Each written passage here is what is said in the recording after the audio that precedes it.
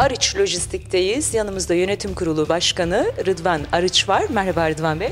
Merhabalar. Biraz sizi tanıyabilir miyiz? Rıdvan Arıç 1971 doğumluyum. 1993'te Mersin'e geldim. E, Mersin'e e, e, Arıç Lojistik bir aile şirketidir. Tabii 93'te e, ortaklı bir şirkettik ama 2003 yılında kendi soy ismimle Arıç Lojistik'i bir aile şirketi olarak kurduk. O günden bugüne e, lojistik işine devam ediyoruz. Lojistik denince akla ne gelir? Lojistik e, aslında olmadan hiçbir şey olmaz. Lojistik olmadan ne yiyeceğimiz gıdayı, giyeceğimiz kıyafeti bile alamayız. Lojistik bana göre aslında her şeyi andırıyor. Lojistik olmadan e, dediğim gibi e, lojistik olmadan hiçbir lojistik vazgeçilmez bir meslektir. Tabii ki önemli olan e, bu mesleği iyi yapmaktır. E, sorunsuz yapmak, kaliteli yapmaktır. Bu, bu meslek böyle bir şey. Şu anda biz arıç lojistik olarak e, bünyemizde 300'e yakın bir personel çalışıyor. Tabii bunun içerisinde aşçısından bu şeyine kadar hepsi bir bütündür. Birisi olmadan öbürü olmuyor.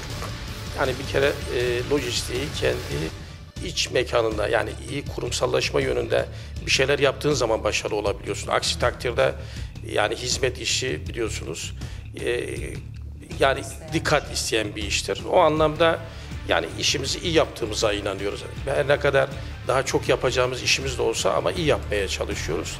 E, lojistik kısaca e, dünyanın her yerinde aslında aynıdır. Ha Mersin'de dediğim gibi lojistiğin Mersin'deki önemini aslında daha çok şey yapıyorum. Mersin ben bazen benim bir şeyim var. Mersin bana göre e, Çin'den Ankara şey Çin'e Ankara'dan daha yakındır Çin'e. Niye? Çünkü biz hakikaten şu anda ülke olarak yani e, çok böyle pahalı yakıtlarla e, şey yapıyoruz. Böyle bir durumda tabii ki bizim için limanın oluşu öncelikli e, öncelikli şeylerden bir tanesidir limanın oluşu. Zaten sadece karayolusunuz değil mi? Sadece sadece evet karayolu taşımacılığı yapıyoruz. Tabii ki bu karayolu taşımacılığında nerelere gidiyorsanız derseniz e, şu anda Avrupa hattımız var. Avrupa'da tabii ki bunun içerisinde Avusturya, Almanya ve e, bunun yanında İngiltere, şey Fransa ağırlıklı çalışıyoruz. E, bir de Asya hatımız var. Asya hatında da ağırlıklı olarak Türkmenistan ağırlıklı Türkmenistan çalışıyor. Bunun yanında yanı sıra bizim İran taşımalarımız var ve e, çok nadir de olsa Tacikistan e, taşımalarımız var. Bir de kendi ihracatımız olan Irak taşımalarımız var. Irak'ta da kendi yaptığımız inşaatların bütün e, malzemeleri ağırlıklı Türkiye'den göndermeye çalışıyoruz. Onun da taşımacılığı tabii ki yine Arıç Lojistik yapıyor.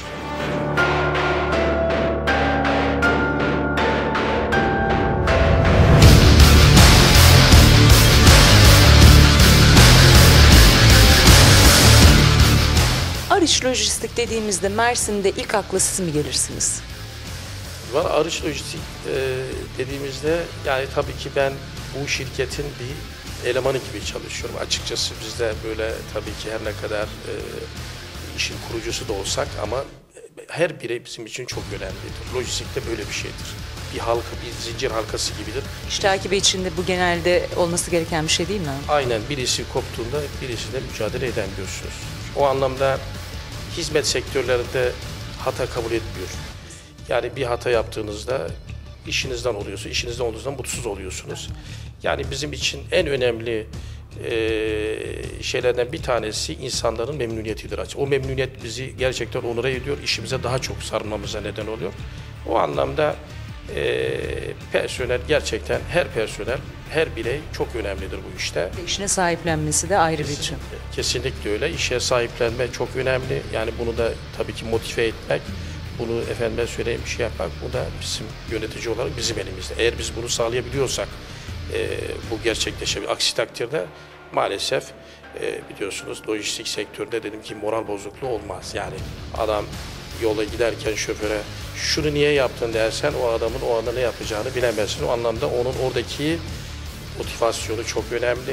Yani her personelin, her bireyin gerçekten motivasyonu çok önemlidir. Bunu çok e, çok böyle e, hassas bir şeydir. E, sabaha yani gece gündüz 24 saat sürekli o motivasyon içinde bulunman lazım. Özellikle yöneticiler, özellikle bizim gibi insanların e, lojistik böyle bir şeydir. Peki e, müşterilerinizle genelde yıllık anlaşmalar mı yaparsınız? Taşımacılık önemli bir şey ve bir firma eğer o firmanın taşımasından memnunsa daima sanırım aynı lojistiği devam ettiriyor. Ve siz de bu tarz bir sözleşmeler yaparak mı devam ediyorsunuz? Evet. Sözleşmeler dediğiniz gibi ağırlıklı evet genelde bir yıllıktır. Çünkü bir yıllık hedefler var. Tabii bunun yanında iki yıllık, üç yıllık bizim bir daha ben şey de söyleyeyim. Tabii ki bizim, bizim iç nakliyemiz de var. İç nakliyelerde mesela bizim sözleşmelerimiz 3 yıldır ağırlıklı olarak.